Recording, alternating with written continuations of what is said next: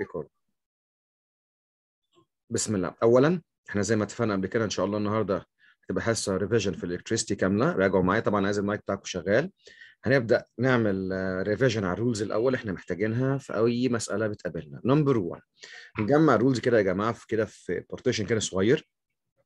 لو اتكلمنا على ال current intensity دايما بيكون عندي 3 rules لل current intensity rule number 1 كان بيكون Q over T. rule number 2 V over R number 3 P over V قولوا لي يا جماعة ها بسرعة كده ال Q stands for what charge خلاص ودي measure by إيه by coulomb طبعا هنا time measure by second V اللي هي ال potential difference أو بنسميها ال voltage ودي measure by volt R هي إيه الريزيستنس ودي measure by ohm اما P stands for power measure by watt وفي طبعا برضو potential difference measure by volt this is point number one current طبعا ده measure by ampere يبقى current intensity لو سألني برضو ال definition بتاعه هو ال amount of charges passing through cross section in one second طبعا دي measure by ammeter والاميتر بيكون in series في السيركت بالشكل ده بيكون عندي هنا amount of charges passing through this ammeter فبيعمل count ل charges passing through it every second دي point number one number two عندنا ال energy ال energy كانت equals power into time وايه كمان عندي ال potential difference كان هو ال work done to transfer charge between two points يعني لو انا عندي resistor بالشكل ده وعندي amount of charge بتعدي من البوينت دي للبوينت دي فالwork done to move this charge from point to another point اتفقنا ان اسمها potential difference ودي كانت measured by volt طبعا هنا W is the work أو ال energy يعني ال energy هنا equals V into Q. تلاقي ال rule ده ممكن يجي لك عليه problem. Energy power into time أو V into Q. عندي حاجة تانية طبعا اللي هي اسمها ال electromotive force هي نفس ال definition برضو بس باختلاف بسيط. طبعا الالكتروموتيف فورس لما بيكون عندي سيل بالشكل ده وهنا عندي سيركت فيها amount of resistors the work done to transfer a charge from this point to move around the circuit and returning back دي بنسميها EMF برضه هو total work done to transfer the charge through all the circuit يعني الفرق بين البوتنشال difference والاي ام اف ده work done to transfer the charge between two points اما الاي ام اف كان work done to transfer the charge through all the circuit هسال انا سؤال صغير محمد يجاوبنا عليه لو قلت لك يا محمد جبت لك هنا فولت ميتر الفولت ميتر ده اليونت بت او الميجر بتاعه 20 فولت وعندك هنا 3 resistors هنا جنب بعض. دي حواليها فولت ميتر بيقرأ 2 فولت والثانيه حواليها فولت ميتر بيقرأ 12 فولت يا ترى الثالثه الفولت ميتر هيقرأ كام يا محمد؟ 6 كام؟ 6 volts. اشمعنى؟ عشان uh, so at the end it's got, it has to equal 20 طيب تمام. So 2 plus 12 equals 14 and then remaining is 6 صح؟ أيوه. يبقى هنا 2 plus 12 14 plus 6 it will be 20 جميل جدا برافو عليك. يبقى هنا 6 فولت إيه the end. حلو قوي قوي قوي يبقى عندي هنا الفولت ميتر أو ال total voltage اللي عندنا. هو 20 فولت أما هنا ال voltage بيكون ال summation بتاع ده plus ده plus ده بيكون 20 فولت حلو قوي قوي طيب السؤال الثاني لو أنا عندي هنا resistor هنا resistor أكبر منها هنا resistor أكبر منها. قول لي يا عمر لو أنا عندي current معدي هنا ال current ده كان 10 امبير قول لي ال current هنا هيكون كام وهنا كام وهنا كام. هنا دي 2 اوم ودي 4 اوم ودي 6 اوم يا عمر. بالنسبة للأميترز الثلاثه الأميتر الأولاني اللي هنا بيقرأ 10 امبير هنا كام وهنا كام وهنا كام. تعرف؟ 12 و 4 لا تاني 12 أول واحد 12 صح؟ ليه؟ Wait I'm confused ناخد لا مش مش عارف. طيب ناخد عنوان بيقول يا عمر إن I is constant in series connection. تاني يعني معنى كده ال current في الأولاني كان كام يا عمر؟ كان 10 يبقى في next one هيبقى still 10 اللي بعده 10 امبير اللي بعده still 10 امبير ليه؟ ال title بيقول إيه يا جماعة؟ current is constant إيه؟ in series. ايا كان اللي بيواجهه.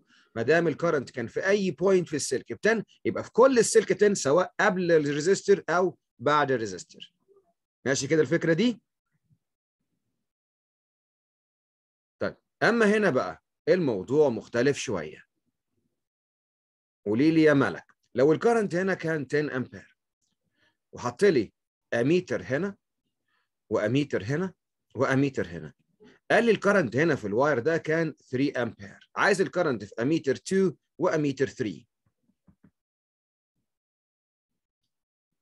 هيا ملك. 2 ممكن يكون 3 هنا 2 يكون 3 طب و3 هيكون كام؟ أو 10 10 نخلينا في ده ده هيكون صح. ليه بقى؟ لأن هنا ال current حصل له هنا distribution شوية هنا وشوية هنا. بعد كده ال total current هيرجع تاني 10 امبير يعني بص يا ملك 2 تكون 7 أيوه كويس إنك إني افتكرتي. اشمعنى؟ ما هو ال 10 امبير دي كأنها مجموعة من الايه ال charges بتتحرك مثلا مع بعض. دخل شوية فوق في ال wire الأولاني يبقى أكيد الباقي هيخش في wire number 2 يبقى معنى كده لو هنا 3 امبير في ال upper wire يبقى اللي تحت هيكون كام؟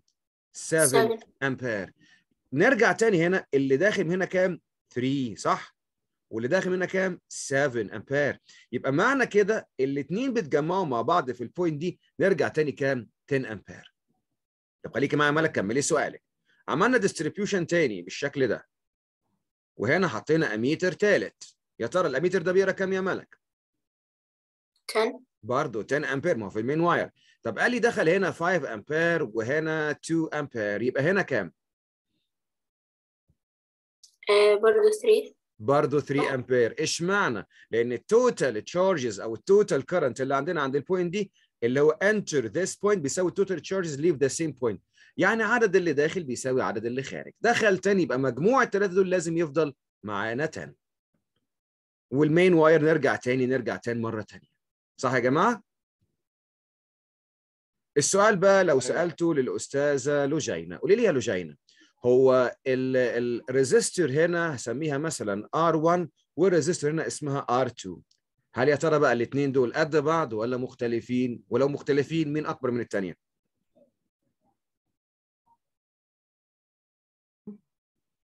نبدأ الأول. هل هم قد بعض يا لوجينا؟ لا. لا. تمام مظبوط كده. بما إن ال current اللي ماشي فيهم مختلف فهم يكونوا مختلفين. طبعا هنا في ال series connection ايا كان بقى وضعهم كبيرة صغيرة ال current is constant. لكن في ال parallel ال current بيتوزع according to the resistors. هنا عندي resistor داخل هنا 3 امبير وهنا 7 امبير نخلينا بالمنطق الأول. ال current ده نفترض إنه عربيات بتتحرك. تدخل الطريق اللي مليان مطبات كتير ولا الطريق الأسهل؟ أسهل جميل. يعني معنى كده أنا عندي هنا 3 امبير يعني طريق صعب جدا ودخل فيه عدد عدد إيه؟ قليل من الايه ال charges طب الطريق الثاني دخل فيه 7 امبير يعني هيكون إيه؟ أسهل يعني هيكون أقل resistor معنى كده إن إيه؟ إن R1 مالها greater than إيه؟ R2 جميل. ليه R1 أكبر؟ لأن دخل فيها كرنت أقل. طب لو قلت لك إن R1 دي مثلا ب 2 اوم تعرفي تقولي لي R2 بكام؟ Um, 6 طب هي قدها ثلاث مرات. طب وأنا اعرف منين؟ تيجي نكتب عنوان تاني؟ إحنا مش كتبنا I is constant in series connection. العنوان التاني مم. والأهم منه يا دكتورة V is constant in parallel. يا ريت بس بنسجل المعلومات في ورقة صغيرة. سجل بس المعلومات الصغيرة أنا بقولها النهارده. قلت لك هنا احس يعني خليك حافظ شوية كلمات معينة عني لأن دي المحور الأساسي للالكتريستي I is constant in series. يعني ده زي ده زي ده. أنا قلت العمر الأول. فهمتوا عمر كده الحتة دي؟ أه. طيب بقول له جاينا دلوقتي V is constant in parallel. طب الفولتج الرول بتاعه إيه؟ نرجع كده للصفحة اللي ورا. V من هنا ايكوالز إيه يا جماعة؟ هنا ال I equals V over R. معنى كده إن ال V equals I into R. تمام؟ يلا نروح للصفحة بتاعتنا. يلا يا دكتورة بقى معايا.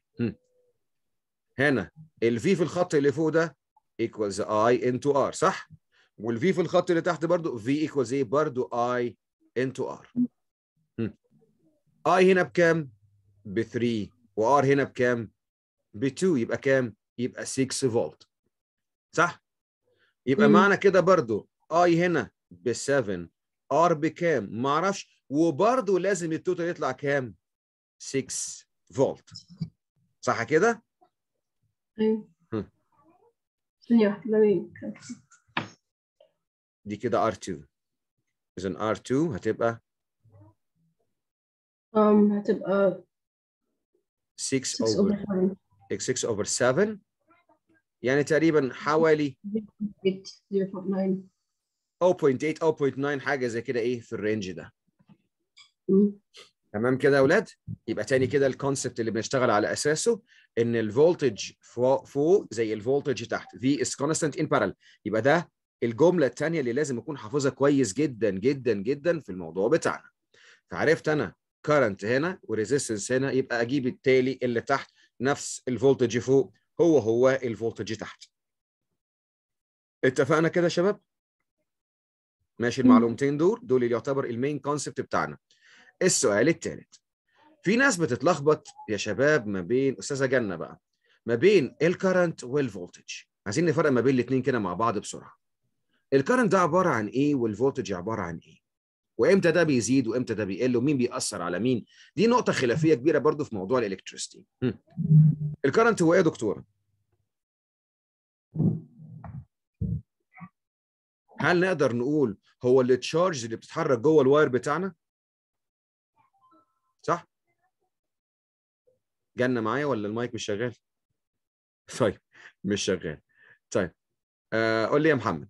بنقول تاني إن ال ال charges دي أو ال current هو ال charge اللي بتتحرك جوه ال wire مظبوط كده ميدو؟ آه.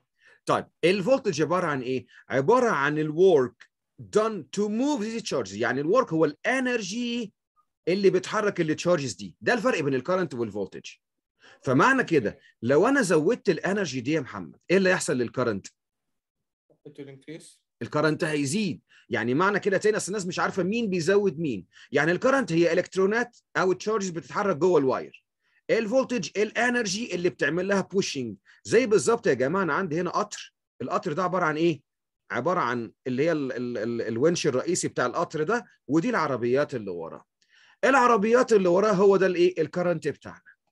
والموتور الأساسي ده ده اللي بيطلع المجهود أو هو اللي بيعمل work to move the charge كل ما ال work ده بيكون أكبر إيه اللي يحصل هيحرك ال charges دي إيه؟ أسرع. يعني معنى كده as voltage increase current increase. واحد يقول لي طب ال resistance هنا فين؟ ال resistance هنا اللي هي ال railway اللي بتحرك عليه أو هي كأن مطب قدامنا. فمعنى كده طول ما ال resistance عندنا constant هنا I proportional مع V. يعني ال resistance المطب اللي عندنا ثابت معنى كده إن كل ما ازود ال voltage كل ما ال current هيكون أعلى. ولو عملنا graph ما بين ال V وال I هيكون إيه؟ straight line بالشكل ده. ولو عملته I مع V هيكون برضو straight line بالشكل ده. طب هنا slope بتاعنا هيكون مين يا جماعة؟ V over I اللي هو مين؟ اللي هو R أما slope هنا يكون مين؟ I over V اللي هو 1 over R يبقى تاني كده ال I وال V directly proportional بالشكل ده. بيجي لي في الامتحان سؤال يعمل لي كده lines كده اكتب لي هنا I وهنا V بيقول لي ارسم ال graph for the resistance لما يكون عندي ال current passing through constant resistor هيكون شكله عامل إزاي يا شباب؟ هيكون straight line بالشكل ده سواء up أو إيه؟ أو down واضح كده يا جماعة؟ ال relation بين ال resistance وال current وال voltage هنا R هي الايه آه. هي ال slope بتاعنا. okay لكن عندي بقى filament lamp ال filament lamp اللي هي بتكون عاملة كده دي دي مشكلتها حاجة تانية يا جماعة. دي لما المفروض ال current بيعدي جواها بتتوهج بتبقى إيه بتدي إيه heat و light في نفس الوقت. يعني هنا ال electricity بتحول ال electrical energy لل light energy heat energy إيه اللي بيحصل؟ هنا ال temperature بتزيد ودي بتأثر على ال resistance of the يعني ال resistance هي كمان بتزيد. يعني لما ال temperature بتزيد ال resistance هي كمان بتزيد. طب أنا لما أحب أرسم relation ما بين الاثنين دول يعني بالظبط يا جماعة أنا عندي إيه؟ هنا ال current وهنا ال voltage ال current عندي كان 0 1 2 3 4 5 6 نبص ال voltage في الأول كان 0 هنا في الأول كان 1 1 امبير محتاج 1 فولت اللمبة بدأت تسخن. لقينا المفروض ال 2 امبير محتاجة 2 فولت لا محتاجة 3 فولت طيب ال 3 امبير محتاجة 6 فولت طب ال four محتاجة ها 10 فولت. إيه ده؟ كل ما بزود شوية بحتاج energy أكتر بكتير يعني مش الطبيعي. المفروض في العادي ال1 بيحتاج 1 وال2 بيحتاج 2 لكن هنا مع ال lamp الموضوع مختلف. هنا كل ما ال lamp بتسخن ال resist بتاعتها بيزيد فبتحتاج energy أكتر. كأن ال resist بتاعت ال lamp عمالة إيه؟ بتعلى بتعلى طول الوقت. فلما آجي أرسم relation ما بين ال V وال I هيكون شكلها عامل إزاي يا جماعة؟ هنا المفروض ال resistance بتزيد. يعني slope بيزيد. أرسم increasing gradient إزاي يا شباب؟ curve هيكون أيوه curved line بالشكل ده. زي ما أنت عارف شايف طبعا هنا ال voltage بيزيد أكتر من ال current تلاقي ال curve بيروح ناحية الايه ال voltage ولو أنا لو جالي في الامتحان ورسمها لي بالعكس. حط لي هنا ال I على ال Y axis وال voltage على الاكس اكسس هيكون شكله عامل إزاي؟ Curve towards the V. curve toward the V. جميل جدا. يعني لو أنا جبت بعد كده graph كده وطلب مني أرسم complete graph ما بين ال current وال voltage. هيكون إيه؟ عامل كده هنا وتحت زيها بالظبط. يعني هنا toward V وهنا برضه towards V. لو عملنا كده بالعكس. كتب لي هنا V وهنا I. ها شكله عامل إزاي يا أولاد curve ناحية ال V هنا وبرضه ناحية ال V برضه الناحية الثانية هتلاقي عندك في الكويستشنز هتلاقي أسئلة جايب نفس ال sequence ده.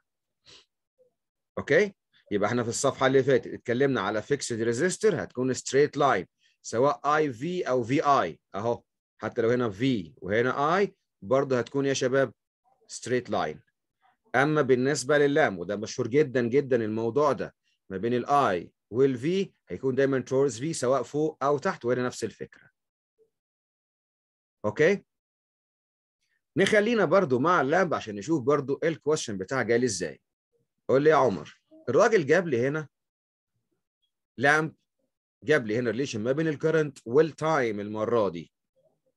وقام راسمه لي كده. كده؟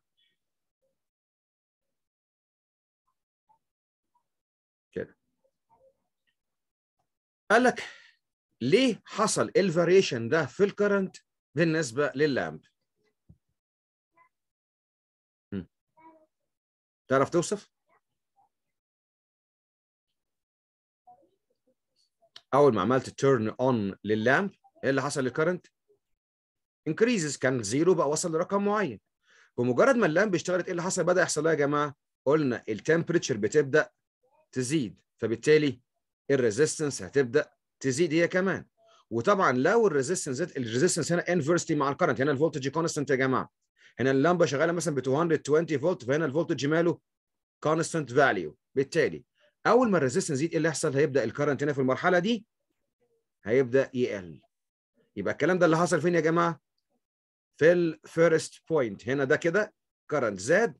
أما بعد كده ال temperature زادت فال resistance زادت فال current أصبح بدأ يحصل له decreasing طب إيه بقى اللي حصل هنا يا أولاد في ال third part آه هنا ال temperature بقت constant temperature. بالظبط. فكده ال resistance بقت إيه؟ constant فال temperature أصبحت هي كمان sorry فالايه فال current هو كمان بقى إيه؟ بقى constant value يبقى هنا السؤال ده كان جالك مثلا عليه 5 marks أو 4 marks بيقول لك احكي لي اللي حصل. هتقول له في الأول at the first current increases. ماشي. دي أول درجة. after that temperature and the resistance increases so current decreases. ده second part. Third part temperature. خلاص بقت اللمبه خلاص وصلت لل maximum power بتاعها. Temperature constant فال resistance constant فال current هو كمان بقى إيه؟ بقى constant value. ده relation ما بين ال current والايه وال time okay معانا يا جماعة في النوع ده من ال question برضه. على فكرة أنا براجع الأسئلة برضه اللي عندك بس في صورة review كده إحنا بنتكلم مع بعض. هنمر عليها دلوقتي تاني مع بعض بس إيه بنفتكر هي كانت إزاي أو إيه العلاقات اللي المفروض أكون عارفها. مين له relation مع مين. بعد كده عندي لو اتكلمت على ال resistor itself طبعا لو عندي مجموعة من ال resistors connected بالشكل ده ده بنسميه يا شباب؟ امم بسرعة series series connection كنا بنجيب R total إزاي؟ R1 plus R2 plus R3 and so on. اما الكونكشن ده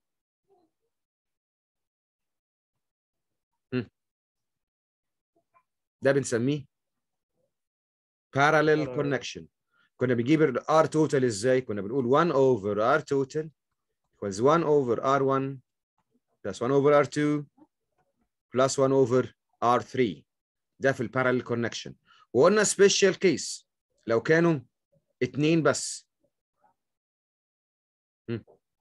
ممكن نعملها إزاي يا شباب؟ تقول له R total equals R1 times R2 times R2 over uh, R1 plus R2 ده لما يكونوا اتنين بس. ده كده يعني إيه؟ ده mathematically يعني لكن أنا ما قلتش رول جديد هو نفس الرول يبقى في series connection just بتعمل add في ال parallel بتعملها كده ولو كانوا اتنين بنعملها بالطريقة دي.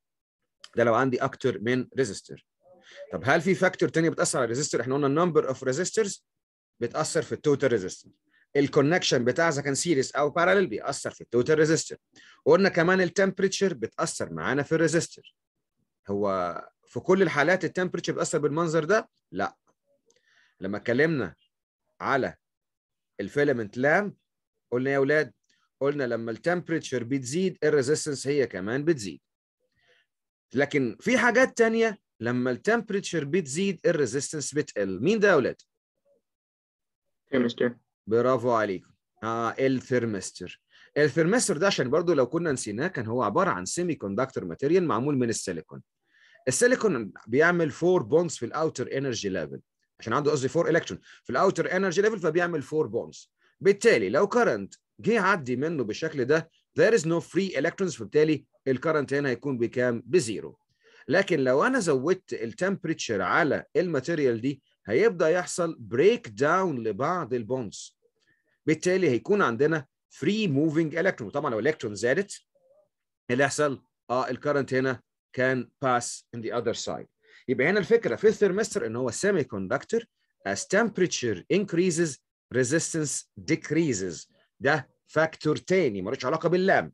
يعني ال lamp ده موضوع ده metal عادي أو wire عادي أما ال thermistor ده special case عشان هو إيه يا جماعة semiconductor okay ده semiconductor فبالتالي بيشتغل بالشكل ده. طب في هل حاجة تانية برضو يا جماعة؟ ال resistance بتاعتها بتتغير مع factor تاني؟ آه عندنا ال LED ده sorry أو LD LDR light dependent resistor ده نفس الفكرة من السيليكون ونفس الحكاية كلها و semiconductor لكن ده بيعتمد المرة دي على ال light لما ال light intensity falling on it increases ال resistance بتاعته decreases.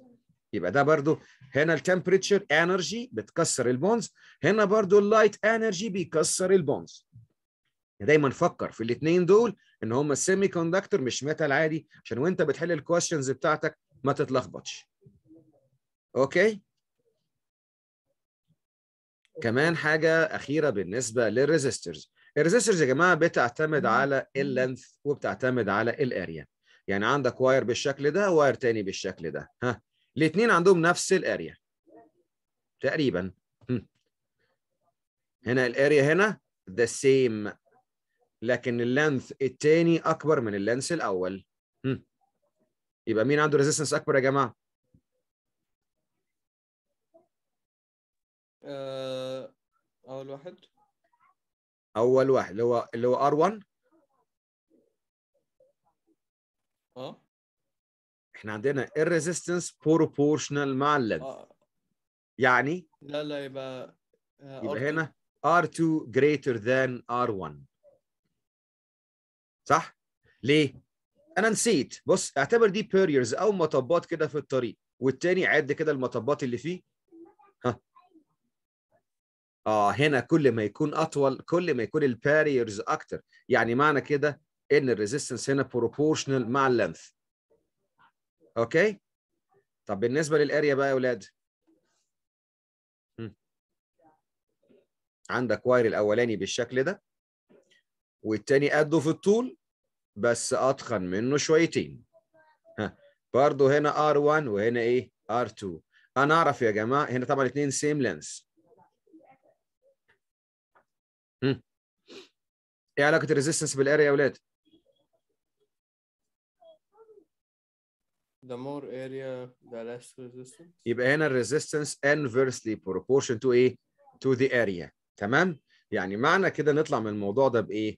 إن هنا هنا area أكبر فال resistance أقل. يبقى هنا R2 less than R1 يبقى لو جيت اكتبها ساعات ممكن يا جماعة إذا قلت لكم حاجة مهمة في آخر كام حصة اتكلمنا فيها قلت لك إن الامتحان بتاع كامبريدج بدأ يقرب كتير من الامتحان بتاع ادكسل والعكس.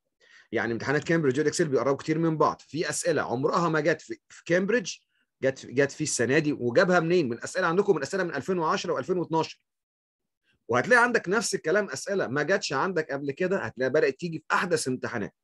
فبالتالي أنا الطلبة اللي خلصت معاهم المنهج في امتحانات كامبريدج خلصت الامتحانات كلها حتى الحمد لله يعني عشان هم كانوا بادئين من بدري قوي خلصوا المنهج. وحاليا دلوقتي بنحل امتحانات إدكسل. خلصنا امتحاناتنا كلها.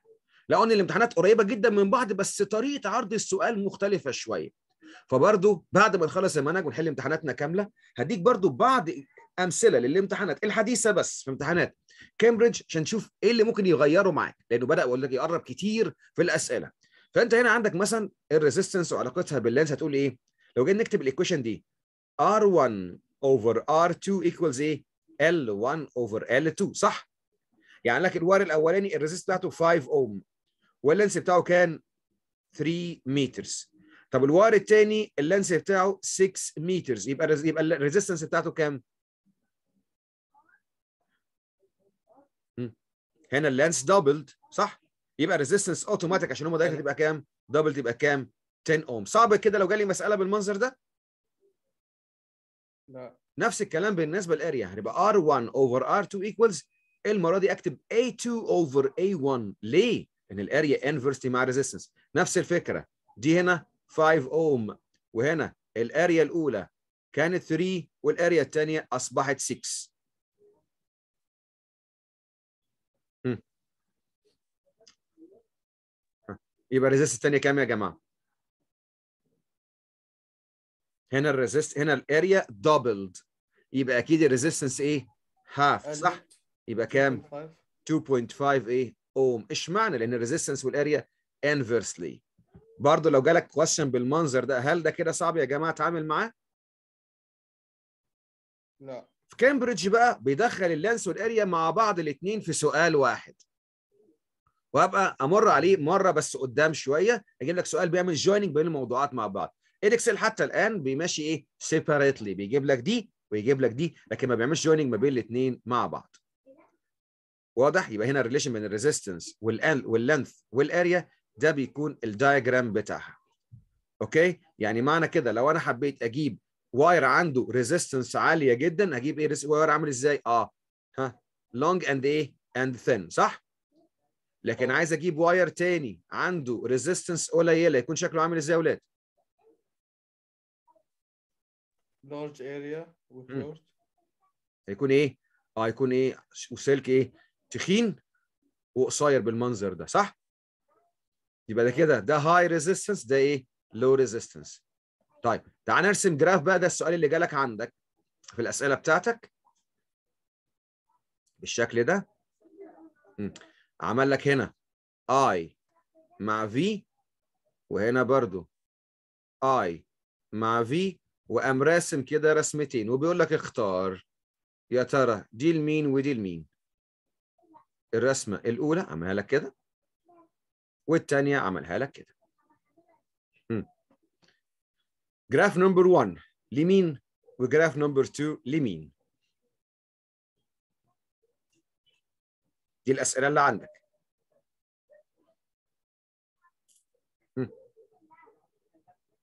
إيه رأيكم؟ number 1 مم. أول صورة graph number 1 ل- ل wire number 1 قصدك؟ آه. و graph number 2 ل wire number 2 آه. طيب ده رأي محمد. رأي الباقي إيه يا جماعة؟ هل محمد كلامه صح ولا غلط؟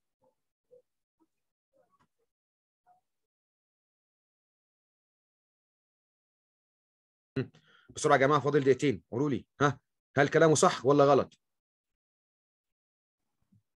هو محمد قال إيه تاني؟ محمد بيقول إن graph number 1 ل wire number 1 و graph number 2 ل wire number 2 هل الكلام صح ولا غلط وليه؟ امم صح طب ليه صح؟ هنا slope بالنسبة لنا هو R صح؟ وهنا برضو slope بالنسبة لنا هو R مش كده؟ مين هنا. more steeper طبعا إحنا اتفقنا إن R1 كبيرة و R2 صغيرة. مش ال line ده more steeper than this one. ما دام more steeper يعني معنى كده هنا ال R كبيرة جدا. عشان هنا إيه؟